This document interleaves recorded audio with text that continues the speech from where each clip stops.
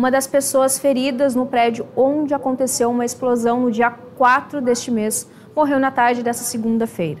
O homem de 38 anos era morador de um dos apartamentos atingidos pela explosão que teria acontecido por causa de um vazamento de gás. Ele estava internado desde o acidente no Hospital Cristo Redentor.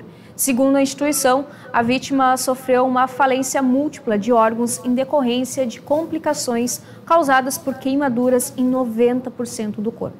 Um outro morador ainda está internado em estado grave. No total, nove pessoas ficaram feridas no acidente, dentre elas dois bombeiros que estavam atendendo a ocorrência. Então, ainda apenas um morador então está ainda internado na UTI em estado grave, não se sabe como é que está a situação dele, mas infelizmente então esse, esse rapaz, 38 anos, acabou então falecendo, né, por, por causa dessa explosão que aconteceu lá nesse prédio, na, no condomínio em Porto Alegre. E, além disso, também tem muitos moradores que ainda não conseguiram retornar para o local justamente por causa do perigo que, que, que, tem ali toda aquela região em função de possíveis desmoronamentos. Né? A estrutura ela ficou comprometida desse, desse prédio, desse, desse bloco que eles chamam.